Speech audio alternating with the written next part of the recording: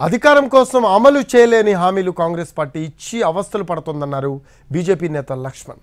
కర్ణాటకలో కాంగ్రెస్ ప్రభుత్వాన్ని ప్రజలు వ్యతిరేకిస్తున్నారని అన్నారు.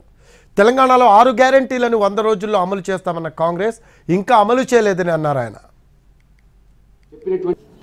ఏడు లక్షల కోట్ల అప్పుల వల్ల శాలరీస్ కూడా ఇవ్వలేకపోతున్నాం ఇవాళ ఎంప్లాయీస్కి ఆ రకంగా ఇచ్చినటువంటి హామీలు స్కీమ్స్ కూడా గత ప్రభుత్వం అమలు చేయలేకపోతుంది.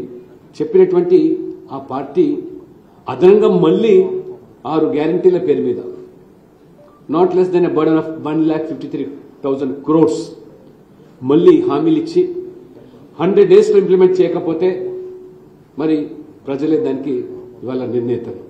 హండ్రెడ్ డేస్లో ఇంప్లిమెంట్ చేస్తామని చెప్పారు. కానీ ఈరోజు ఏమైంది ఇవాళ?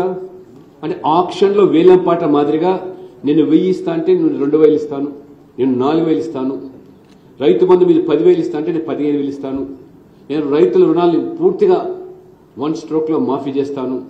ఇన్ని వాగ్దానాలు హామీలు చేసి ఇవన్నీ తెలిసి ఉండి కూడా ఏ రకంగా ఇవాళ హామీలు ఇచ్చారంటే ఫైనల్లీ హూజ్ మనీ